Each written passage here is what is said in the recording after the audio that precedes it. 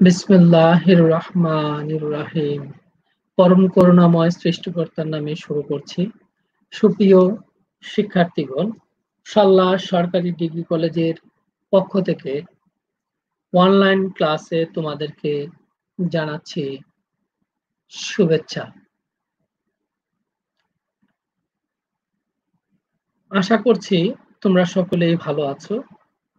সুপ্রিয় শিক্ষার্থীবৃন্দ আজকে আমি তোমাদের মাঝে হাজির হয়েছি এইচএসসি ইংলিশ সেকেন্ড পেপারের question format and marks distribution নিয়ে।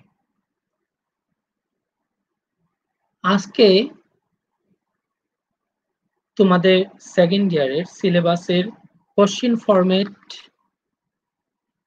and marks distribution এবং এর সাথে কিছু গুরুত্বপূর্ণ হিডেন টিপস নিয়ে আলোচনা করব।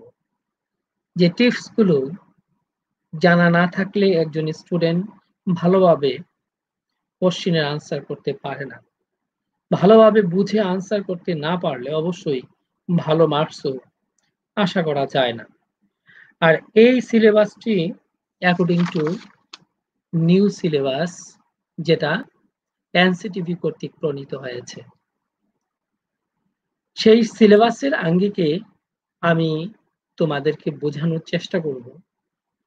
সেকেন্ড ইয়ারের সিলেবাসটি কেমন?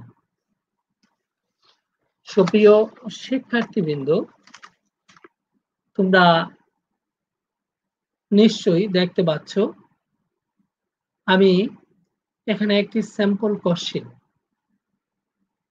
উপস্থাপন করতে যাচ্ছি। সেই কোশ্চিনে প্রথমত উল্লেখ আছে HSC examination English second paper full marks one hundred time three hours ব্রাকেটে উল্লেখ আছে answer all the questions figures in the margin in indicate four marks অর্থাৎ বলা হয়েছে যে প্রত্যেকটি প্রশ্নের আনসার করতে হবে এবং যে ফুল মার্কসটা তোমার মার্জিনের প্রশ্নের ডান পাশে উল্লেখ হয়েছে সুপ্রিয় শিক্ষার্থীবৃন্দ, তোমরা সকলেই জানো, ইংরেজি সেকেন্ড পেপারের দুইটি অংশ থাকে। একটি অংশ হচ্ছে গ্রামার পার্ট এটাকে বলা হয় এ অংশ, আর আরেকটি অংশ হচ্ছে পার্ট বি, যেটা কম্পোজিশন নামে পরিচিত পার্ট এতে গ্রামারের মধ্যে আছে ষাট মার্কস এবং পার্ট বি কম্পোজিশনে আছে চল্লিশ মার্কস এই হলো টোটাল একশো মার্কসের পরীক্ষা।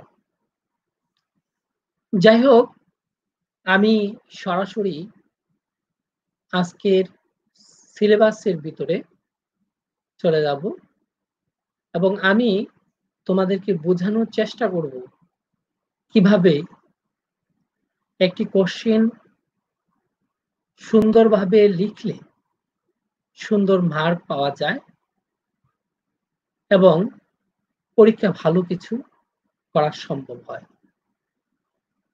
বন্ধুরা, লক্ষ্য করো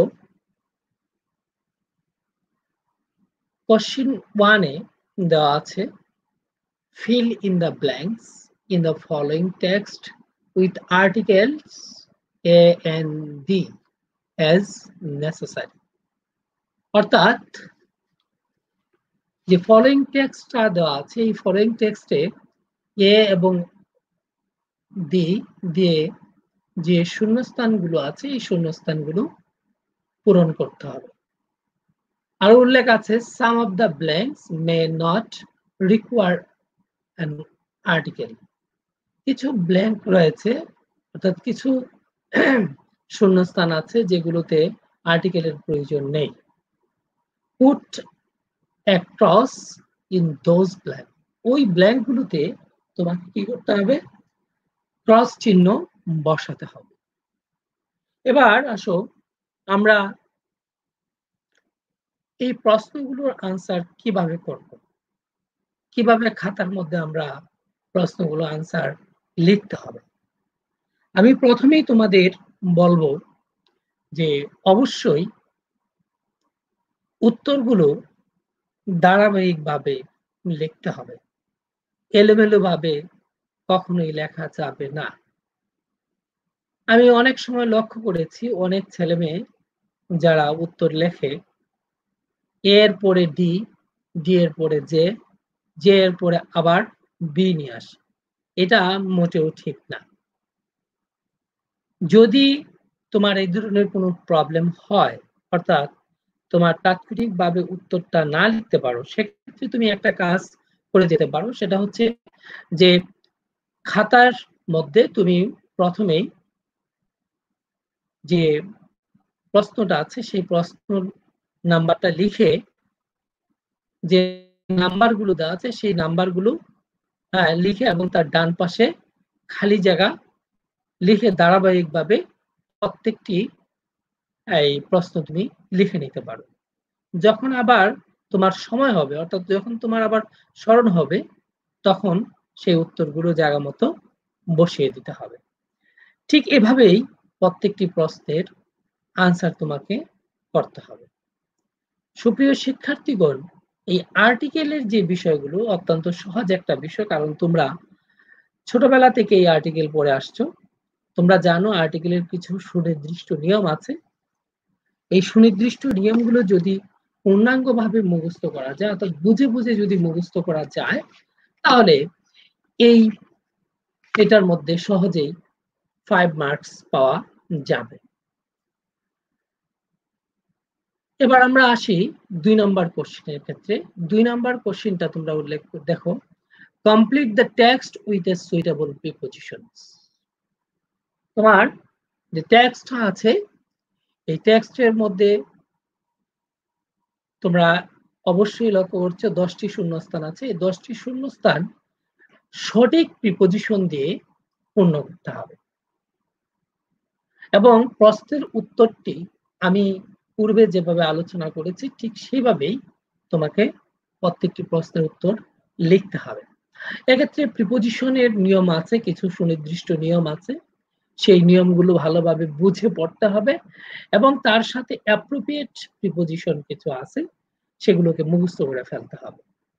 একটা বিষয় আসলে আমাদের স্মরণ রাখতে হবে, যে ইংরেজি ভালো করতে হলে তোমাকে যে একটা বিষয় খুব গুরুত্ব সহকারে জানতে হবে সেটা হচ্ছে প্রত্যেকটি ইংরেজির বাংলা যারা সঠিকভাবে বুঝতে পারবে, তাদের পক্ষে খুব সহজেই ইংরেজিতে ভালো মার্ক পাওয়া, প্রত্যাশা করা যায়। যাই হোক ঠিক এভাবে আমরা দুই নম্বর কোশ্চিনটা যদি সকল নিয়ম অনুসরণ করি তাহলে আমরা ফাইভ মার্কস পেতে পারব। এবার আসি আমরা তিন নাম্বার কোশ্চিনের ক্ষেত্রে। সুপ্রিয় শিক্ষার্থীবৃন্দ, এই তিন নাম্বার কোশ্চিনটা অত্যন্ত সহজ একটা কোশ্চিন অর্থাৎ পুরা কোশ্চিনের মধ্যে ইন্টারমিডিয়েট সেকেন্ড ইয়ারের যে কোশ্চিনটা রয়েছে, সেই কোশ্চিনটার মধ্যে অত্যন্ত সহজ একটা কোশ্চিন তুমি যদি সঠিকভাবে বুঝতে পারো, তাহলে আমি আশা করি তোমরা অবশ্যই ফুল মার্ক সহজে পেয়ে যাবে। তোমরা এখানে খেয়াল করো, প্রশ্নে বলা হয়েছে complete the sentences with suitable phrases oblique words given in the box এই একটা বক্স নিচে দেওয়া আছে। এই বক্সের ভিতরে দশটি ওয়ার্ড এবং ফ্রেজ দেওয়া আছে। এই দশটি ওয়ার্ড এবং ফ্রেজ দিয়ে নিচের যে শূন্যস্থানগুলো আছে, এই নিচের শূন্যস্থানগুলো তোমাকে পূরণ করতে হবে। এবং ধারাবাহিকভাবেই প্রত্যেকটি প্রশ্নের উত্তর লিখতে হবে। একটু খেয়াল করতে হবে তোমাদের, এই, এটা, এই যে নিয়মগুলো, এই যে ওয়ার্ড এবং ফ্রেজগুলো আছে, দেওয়া আছে এই প্রত্যেকটি ওয়ার্ড এবং ফ্রেজের কিছু সুনির্দিষ্ট নীতিমালা রয়েছে। তোমরা যদি বুঝে বুঝে সঠিকভাবে বুঝতে পারো কিছু টেকনিক্যাল কিছু বিষয় রয়েছে। এই বিষয়গুলো যদি বুঝতে পারো, খুব সহজেই তুমি এখানে পাস মার্ক পেয়ে যাবে। আমি আশা করি আমি যখন দ্বিতীয় ক্লাসটি নেব এই দ্বিতীয় ক্লাসের সময় আমি ওয়ার্ড এবং ফ্রেজ তোমাদেরকে বোঝানোর চেষ্টা করব। আমি আশা করি দুই একটা ক্লাস করলে তুমি সহজেই সেখান থেকে বুঝতে পারবে এবং তুমি সহজে পরীক্ষা সুন্দরভাবে আনসার করতে পারবে। এবার আমি চার নাম্বার কোশ্চিনে আসছি। চার নাম্বার কোশ্চিনে বলা হয়েছে complete the sentences using suitable clauses oblique phrase এখানেও ফাইভ মার্কস দেওয়া আছে। এবং তোমরা উল্লেখ করে, দেখো প্রত্যেকটা প্রশ্ন দশটি প্রশ্ন, প্রত্যেকটা প্রশ্নের মধ্যে দশটি প্রশ্ন থাকবে এবং তার জন্য পাঁচ মার্ক দেওয়া থাকবে। সুপ্রিয় শিক্ষার্থীবৃন্দ, এই যে কমপ্লিটিং সেন্টেন্স এই কমপ্লিটিং সেন্টেন্সটা পূর্ণ করতে হবে ক্লোজ এবং ফ্রেজ দিয়ে। তোমরা এখানে অবশ্যই লক্ষ্য করছ যে এই যে এর নাম্বার কোশ্চিনটা একটু খেয়াল করো Rangamati is very busy now but don't worry if if I could any good hotel এরপরে তোমার শূন্যস্থান দেওয়া আছে। তুমি যখন প্রশ্নটার উত্তরটা লিখবে তখন তোমাকে অবশ্যই খেয়াল করতে হবে। অবশ্যই শূন্যস্থানের পূর্বে যে বাক্যটা আছে, সেই বাক্যটা অবশ্যই উত্তরের সাথে লিখতে হবে এবং উত্তরের নিচে আন্ডারলাইন দিতে হবে। অথবা তুমি যদি মনে করো যে আমি পূর্ণাঙ্গ বাক্যটি লিখে ফেলব, সেক্ষেত্রে তুমি উভাবও লিখতে পারবে। কিন্তু কখনোই শুধুমাত্র শূন্যস্থান লিখে একটা আন্ডারলাইন দিয়ে এটা করা যাবে না। আমি আশা করি তোমরা বুঝতে পেরেছ যে তোমরা আমি নিচে আনসার দিয়ে দিয়েছি। যেভাবে আনসার দিয়েছি আমি, ঠিক এভাবেই তোমরা লেখার চেষ্টা করতে হবে এবং যদি তোমরা এই ক্লোজ এবং ফ্রেজের কিছু রুলস বুঝতে পারো এবং বাক্য তৈরি করতে পারো নিজেরাই। ঠিক তখনই তুমি এই কমপ্লিটিং সেন্টেন্সগুলোর আনসার করতে পারবে। এবং যেটা আমি আবারও বলছি জোর দিয়ে তুমি যদি বাক্যগুলোর বাংলার বুঝতে না পারো, বাংলা বুঝতে অক্ষম হও, তাহলে কখনোই এই বাক্যগুলো তুমি পূর্ণ করতে পারবে না। কারণ এই গ্রামার কখনোই মুখস্থ পাওয়া যায় না। আমরা অনেক ছেলেমেয়েরা আশা করি টেস্ট পেপার মুখস্থ করে ফেলি বই মুখস্থ করে ফেলি, এটা আসলে মোটেই ঠিক না। তোমাকে বাক্য তৈরি করতে হবে এই জন্য প্র্যাকটিস করতে হবে। প্রচুর পরিমাণে প্র্যাকটিস করতে হবে, বাক্য লিখতে হবে নিজেরা। যদি তুমি সঠিকভাবে বাংলাটা বুঝতে পারো, ঠিক তখনই তুমি আরেকটি বাক্য এটার সাথে সামঞ্জস্য রেখে তুমি আরেকটি বাক্য লেখা তোমার পক্ষে সম্ভব হবে। আমি আশা করি তোমরা বিষয়টা বুঝতে পেরেছ। তো যদি তোমরা বুঝে থাকো তাহলে আমি অবশ্যই নিশ্চিত হব যে তোমরা এখানে ফাইভ মার্কস পাবে।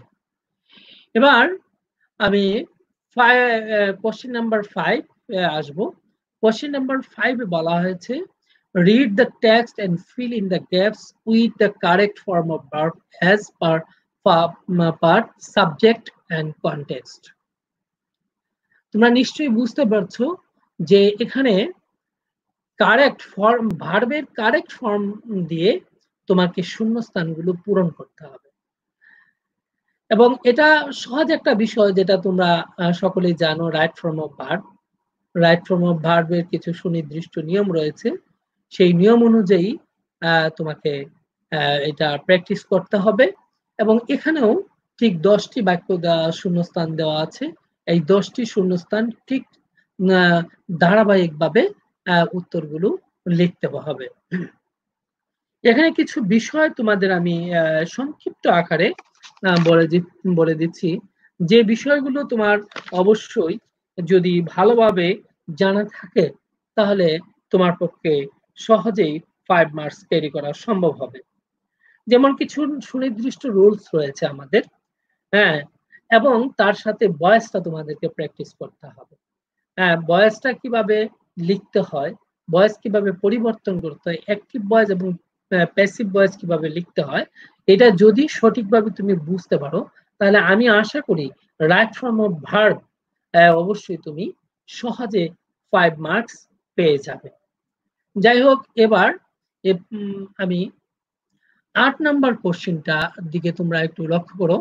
এখানে বলা হয়েছে read the text and change the sentences as directed এটা টেক্সটটি পড়ো এবং বলা হচ্ছে যে change the sentence as directed অর্থাৎ সেন্টেন্সগুলোকে হ্যাঁ পরিবর্তন করতে হবে। এবং কীভাবে কি এটা আসলে মূল প্রশ্নটা কি, এটা তোমরা নিশ্চয়ই বুঝতে পারছ যে তোমার, তোমরা মেট্রিক লেভেলে অর্থাৎ এসএসসি লেভেলে যে ট্রান্সফরমেশন করেছ, সেই ট্রান্সফরমেশনেই এই কোশ্চেনটি তো ট্রান্সফরমেশন তোমাকে এখানে পাঁচটি কোশ্চেন দেওয়া থাকবে। পাঁচটি কোশ্চেনের আনসার করতে হবে। যে বিষয়গুলো তোমাকে খেয়াল করতে হবে ট্রান্সফরমেশনের জন্য, তা হলো যে, তোমার এখানে ঘটনগত সেন্টেন্স যেমন simple sentence complex complex sentence compound sentence অর্থগত sentence affirmative negative interrogative degree voice. এই বিষয়গুলো যদি তুমি সঠিকভাবে বুঝতে পারো, তাহলে তুমি ট্রান্সফরমেশনের আনসার খুব সহজেই লিখতে সক্ষম হবে। সুপ্রিয় শিক্ষার্থীবৃন্দ, সাত নম্বরে উল্লেখ করা হয়েছে change the negative style by using direct speech অর্থাৎ এখানে বলা হয়েছে ডাইরেক্ট স্পিচ বলতে আমরা এখানে নেরেশনের কথা বলা হয়েছে, অর্থাৎ ডাইরেক্ট থেকে ইনডাইরেক্টে পরিণত করতে হবে। ডাইরেক্ট দেওয়া আছে, এটাকে ইনডাইরেক্ট করতে হবে। তোমরা একটা জিনিস খেয়াল রাখবে এখানে, অনেক সময় পরীক্ষায় ইনডাইরেক্ট থেকে ডাইরেক্ট আসে, অতএব দুইটা বিষয়ে তোমাকে প্র্যাকটিস করতে হবে। ডাইরেক্ট থেকে ইনডাইরেক্ট আবার ইনডাইরেক্ট থেকে কীভাবে ডাইরেক্টে যাওয়া যায় এই বিষয়েও তোমাকে অবশ্যই প্র্যাকটিস করতে হবে এবং এই ন্যারেশনের কিছু সুনির্দিষ্ট নিয়ম নীতি আছে। যদি সুনির্দিষ্ট নিয়ম নীতিগুলো অনুসরণ করে প্র্যাকটিস করা যায়, তাহলে সহজেই সুন্দর মার্ক পাওয়া যাবে বলে আমি আশা করি।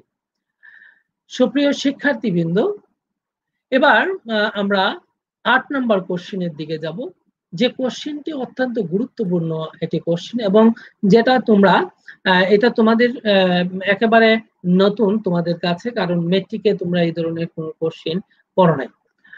এখানে কোশ্চেনটাতে বলা হয়েছে identify the unclear pronoun references in the following paragraph where necessary rewrite the sentences so that all pronoun references are all pronoun references are identify the unclear pronoun references তোমার এই যে নিচে একটা প্যাসেজ দেওয়া আছে, সেখানে এই প্যারাগ্রাফটার মধ্যে কিছু অস্পষ্ট প্রনাউনের উল্লেখ করা হয়েছে।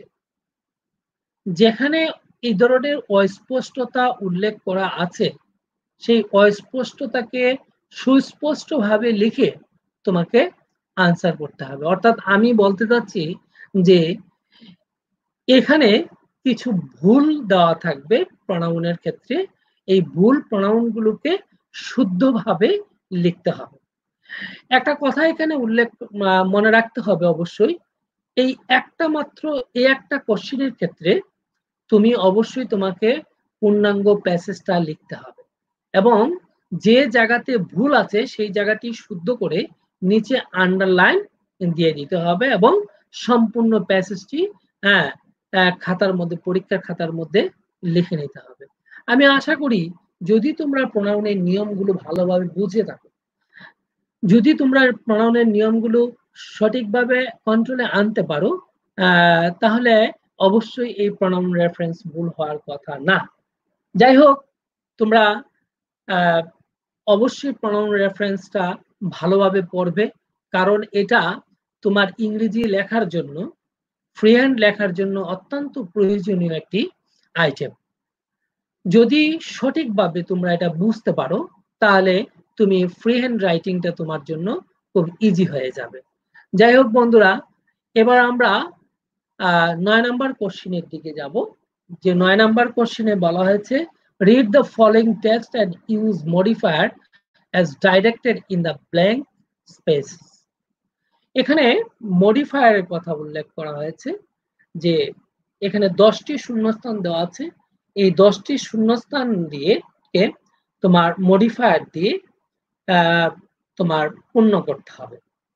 একটা বিষয় এখানে তোমাদেরকে বলে দিচ্ছি যে মডিফায়ার এমন একটি বিষয় যে মডিফায়ার অনেক কিছুই তোমাকে জানতে হবে। প্রথমত তোমার পর্যাপ্ত পরিমাণে ভোকাবুলারি স্টক থাকতে হবে। অর্থাৎ আমি বলতে যাচ্ছি শব্দ ভান্ডার প্রচুর পরিমাণে জানতে হবে। প্যাসেজটির বাংলা জানতে হবে। এবং সর্বোপরি মডিফায়ার বিষয়গুলো কি কি? মডিফায়ার সাথে কি কি বিষয় সংশ্লিষ্ট রয়েছে? এই সকল বিষয়গুলো তোমাকে জেনে নিতে হবে। যদি তুমি সমস্ত বিষয়গুলো জানতে পারো এবং বাংলাটা সঠিকভাবে তুমি বুঝতে পারো এবং তোমার ভিতরে যদি পর্যাপ্ত পরিমাণে ওয়ার্ড স্টক থাকে, তাহলে আমি আশা করি তুমি সুন্দরভাবে লিখতে পারবে এবং এখান থেকে ফাইভ মার্কস ক্যারি করা অত্যন্ত সহজ হবে। এবার দশ নম্বর কোশ্চেনে উল্লেখ আছে, খেয়াল করো তোমরা use appropriate sentences connectors in the blank space of the following passage এটা হচ্ছে তোমার বলা হয়েছে যে কানেক্টর মানে সংযোগকারী। এই কানেক্টরটা আসলে তোমরা যে এসএসসি লেভেলে লিঙ্কার্স যেটা পড়ে আসছো, ঠিক এটার মধ্যেই কিছুটা, তবে ঠিক কানেক্টর এবং লিঙ্কারের মধ্যে কিছু পার্থক্য রয়েছে। কানেক্টরের কিছু সুনির্দিষ্ট নিয়ম নীতি আছে। সেই নিয়ম নীতিগুলো যদি সঠিকভাবে প্র্যাকটিস করা যায়, তাহলে এখানে যে দশটি শূন্যস্থান আছে, এই দশটি শূন্যস্থান সহজেই তুমি বসাতে পারবে। অর্থাৎ দশটি শূন্যস্থান সহজে তুমি আনসার করা তোমার পক্ষে সম্ভব হবে। এবং যে বিষয়টার প্রতি আমি এখানে গুরুত্ব দিব, সেই বিষয়টা হচ্ছে অবশ্যই প্যাসেজটির বাংলা জানতে হবে। বাংলা তুমি যদি এই প্যাসেজে না বুঝতে পারো, তাহলে তোমার পক্ষে তুমি যত বেশ রুলস পড়ো না কেন কানেক্টরের তোমার পক্ষে এটার আনসার করা কখনোই সম্ভব হবে না। কারণ এই কোশ্চেনটা একটু জটিল, মাঝারি মাঝারি ধরনের স্টুডেন্টদের জন্য কোশ্চেনটি অত্যন্ত জটিল বলে আমি মনে করি। তাই যারা বাংলা পড়তে পারবে, বাংলাটা বুঝতে পারবে, তাদেরকে তারাই একমাত্র এই কানেক্টর আনসারটা সঠিকভাবে পড়তে পারবে। এবার আমি এগারো নম্বর কোশ্চেনের দিকে যাচ্ছি। Read the passage and then write the antonyms or synonyms of the words as directed below প্যাসেজটা তুমি আগে পড়ে নিবে এবং এখানে তুমি লক্ষ্য করতে পারছ যে অনেকগুলো ওয়ার্ডের মধ্যে, অর্থাৎ দশটা ওয়ার্ডের মধ্যে নিচে আন্ডারলাইন দেওয়া আছে। এই দশটি ওয়ার্ডের হ্যাঁ তুমি অ্যান্টিনিয়াম লিখতে হবে এবং সিনোনিয়াম লিখতে হবে। অ্যান্টিনিয়াম মানে হচ্ছে তুমি বিপরীত শব্দ এবং সিনোনিয়ামস মানে হচ্ছে সমার্থক শব্দ। এই জন্য তোমার অবশ্যই এই তোমার বইয়ের মধ্যে যে অ্যান্টোনিয়ামস এবং সিনোনিমসগুলো দেওয়া আছে, এগুলো তুমি সঠিকভাবে পড়তে হবে এবং বুঝতে হবে। এবং আরেকটা বিষয় অবশ্যই তোমাকে খেয়াল রাখতে হবে যে প্যাসেজটাতে, প্যাসেজটার কি বলতে চাচ্ছে? অর্থাৎ প্যাসেজের বাংলাটা বুঝতে হবে। প্যাসেজের বাংলাটা বুঝে তুমি অবশ্যই ওয়ার্ডগুলোর অ্যান্টোনিয়াম এবং সিনোনিমস লিখতে হবে। যদি তোমার প্যাসেজের তুমি যে যে ওয়ার্ডটার অ্যান্টোনিয়াম বা সিনোনিমস লিখবে, অবশ্যই প্যাসেজের সাথে সম্পৃক্ত থাকতে হবে সেটা। আর না হলে তুমি সেখানে মার্কস তোমার কিছুটা কম আসতে পারে।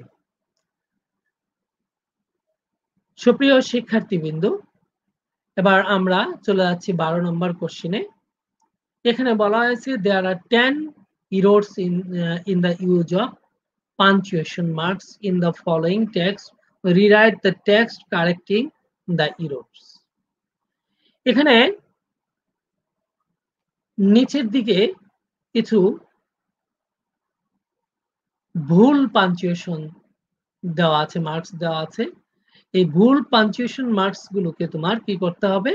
সঠিকভাবে লিখতে হবে। পাঞ্চুয়েশন মানে তোমরা জানো যে পাঞ্চুয়েশন হচ্ছে তোমার জ্যোতি চিহ্ন। আর এই জ্যোতি চিহ্নের কিছু সুনির্দিষ্ট নিয়ম আছে। এই সুনির্দিষ্ট নিয়মগুলো অবশ্যই তোমাকে পড়তে হবে। এবং আরেকটা কথা এখানে অবশ্যই বলে দিচ্ছি, আট নাম্বারের মতো ঠিক এই বারো নম্বর কোশ্চেনটি অবশ্যই অবশ্যই তুমি পরীক্ষার খাতায় যখন লিখবে, পূর্ণাঙ্গ প্যাসেজটি তোমাকে তুলতে হবে। অবশ্যই পূর্ণাঙ্গ প্যাসেজটি তুলতে হবে। পূর্ণাঙ্গ প্যাসেজটি না তুললে এখানে তোমার পক্ষে তুমি মার্কস পাবে না। এটা অত্যন্ত সহজ একটা বিষয় পাঞ্চুয়েশন কারণ এটা তোমরা নিয়মিত প্র্যাকটিস করে থাকো। হ্যাঁ ছোটবেলা থেকে প্র্যাকটিস করে আসছো তোমরা। আমি আশা করি যদি তোমরা নিয়মগুলো সঠিকভাবে পড়তে পারো, তাহলে অবশ্যই ফাইভ মার্কস পাবে। সুপ্রিয় শিক্ষার্থী বন্ধু তোমরা তোমরা অবশ্যই আমার এই যে স্যাম্পল কোশ্চেনটিতে একটা বিষয় উল্লেখ করে লক্ষ্য করেছ যে প্রত্যেকটি প্রশ্নের প্রত্যেকটি প্রশ্নের নিচে আমি আনসার দিয়েছি। আমি যেভাবে আনসারগুলো লিখেছি, ঠিক সেইভাবেই আনসারগুলো লেখার চেষ্টা করতে হবে। তাহলেই তোমার আনসার সঠিক হবে এবং তুমি যে মার্কস প্রত্যাশা করছ, অবশ্যই সেই মার্কসটি তুমি পেতে সক্ষম হবে। যাই হোক, আমি এই পর্যায়ে চলে যাচ্ছি।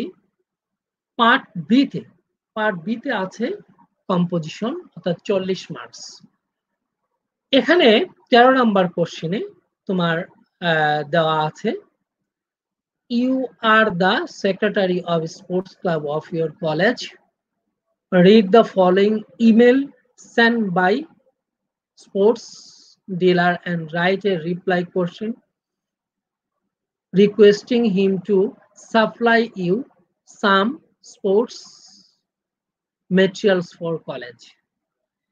এখানে তোমরা জানো, সহজ একটা বিষয়। এই বিষয় নিয়ে এত বেশি আমরা কথা বলব না। কারণ আমার ক্লাসটি অনেক দীর্ঘায়িত হয়ে যাবে বেশি কথা বললে। এখানে তোমরা ইমেল লিখতে হবে একটা। হ্যাঁ তোমাদের একটা ইমেল আসবে। ইমেলের কিছু সুনির্দিষ্ট নিয়ম আছে। আমি এখানে দেখিয়ে দিয়েছি কীভাবে ইমেল লিখতে হবে। সেই অনুযায়ী তোমাকে ইমেল যদি লেখো, তাহলে এখানে অবশ্যই সুন্দর একটা মার্ক পাবে। আমি যেভাবে দেখে, দেখিয়েছি, সেইভাবেই তোমাকে ইমেলটা লিখতে হবে। এবার, এ পর্যায়ে আমরা চলে যাব।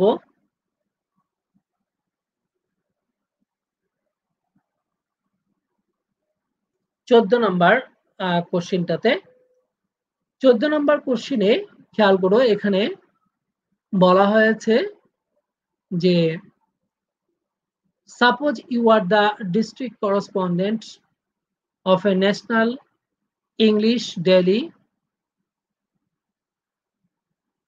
published from Dhaka. You have just covered a road accident in your area. Write a news report of about 120 words and give a title to your report. এখানে মার্কস দেওয়া আছে এইট মার্কস তোমরা জানো এই এই কোশ্চেনটিতে বলা হয়েছে যে তোমার রোড অ্যাক্সিডেন্টের উপরে একটা রিপোর্ট লিখতে হবে। রিপোর্ট বিভিন্ন ধরনের রিপোর্ট আছে। এই রিপোর্টগুলো তোমাদেরকে পড়ে নিতে হবে। রিপোর্টের নিয়মগুলো জেনে নিতে হবে। আমি একটি স্যাম্পল উত্তর দিয়েছি। এই এই অনুযায়ী যদি তুমি রিপোর্টটি লেখো, তারপরও তুমি সুন্দর মার্ক পেতে পারো। যাই হোক, আমি পরবর্তী যখন ক্লাস নিব, তখন উত্তরগুলো আসলে কীভাবে লিখতে হয়, রিপোর্ট কীভাবে লিখতে হয়, বিভিন্ন ধরনের রিপোর্ট রয়েছে, বিভিন্ন ধরনের রিপোর্ট কীভাবে লিখতে হবে, সেই প্রত্যেকটি রিপোর্ট আমি বুঝিয়ে দেওয়ার চেষ্টা করব। সুপ্রিয় শিক্ষার্থীবৃন্দ এবার আমি চলে যাব পনেরো নম্বর কোশ্চিনে পনেরো নম্বর কোশ্চিনে বলা হয়েছে write a paragraph comparing and contrasting the types of entertainment in the rural and urban areas of Bangladesh এখানে আমি উত্তরের মধ্যে উল্লেখ করেছি, দেখো। Answer will vary here and so model answer is not given আনসারটা বিভিন্ন ধরনের হতে পারে, একটা প্যারাগ্রাফ বিভিন্ন ধরনের প্যারাগ্রাফ বিভিন্ন ধরনের হতে পারে, তাই আমি আনসারটা উল্লেখ করি নাই। প্যারাগ্রাফ সম্পর্কে তোমরা ভালো জানো। হ্যাঁ এই বিষয়ে আমি খুব বেশি একটা আলোচনা করব না। এখানে টেন মার্কস দেওয়া আছে, যারা ভালোভাবে লিখতে পারবে, অবশ্যই তারা সুন্দর মার্কস পেতে পারবে। সিক্সটিন নাম্বার কোশ্চিনে দেওয়া আছে, এখানে তোমরা একটু খেয়াল করো, যে এখানে বলা হচ্ছে is free of speech freedom sorry is freedom of speech necessary in a free society give reasons for your answer. Write at least 200 words, but don't exit 250 words.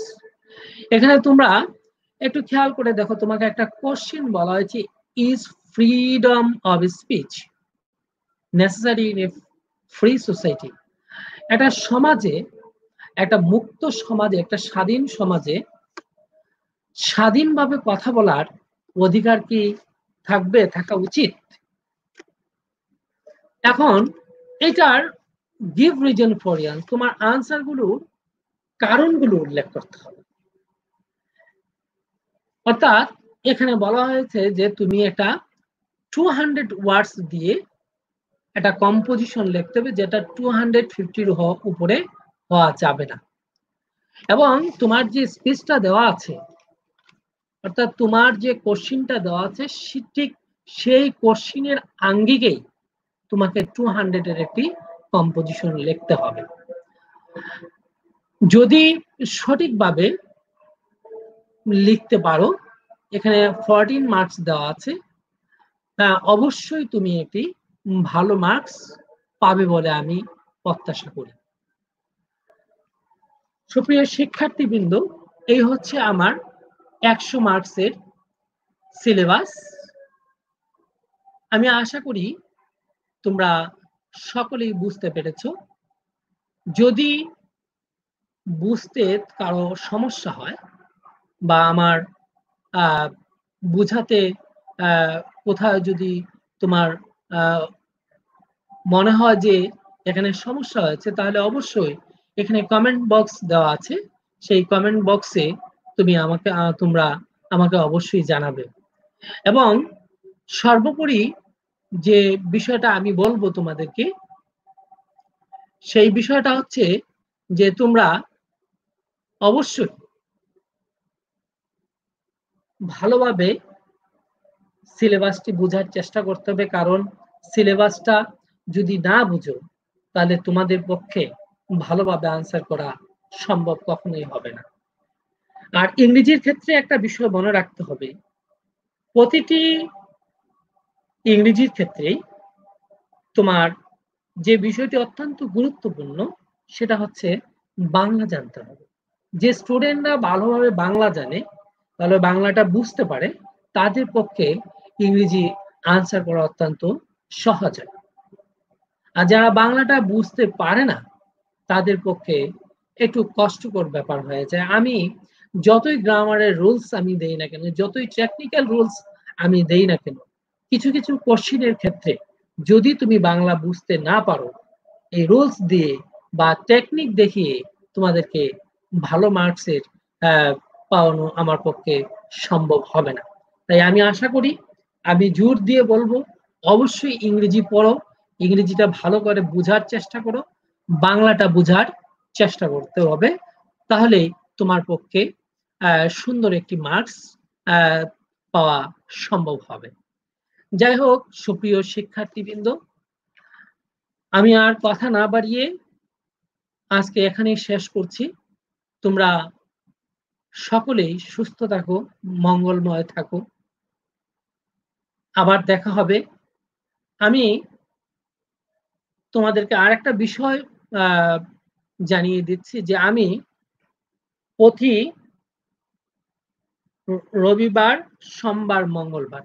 এই তিন দিন আমার তিনটা ক্লাস, পরপর তিনটা ক্লাস হবে। তোমরা যারা ক্লাসগুলো দেখতে আগ্রহী, অবশ্যই এই তিন দিন আমার যে ইউটিউব চ্যানেল অথবা আমার ফেসবুক প্রোফাইল, প্রোফাইলে যে তোমরা অবশ্যই আমার ক্লাসগুলো অনুসরণ করতে পারবে। আমি আশা করি তোমরা অবশ্যই সকলকেই বিষয়টি শেয়ার করবে এবং আমার চ্যানেলটি সাবস্ক্রাইব করবে। আবারও সকলকে ধন্যবাদ জানিয়ে এখানে শেষ করছি। খুদা হাফেজ। সকলেই ভালো থাকো। ধন্যবাদ।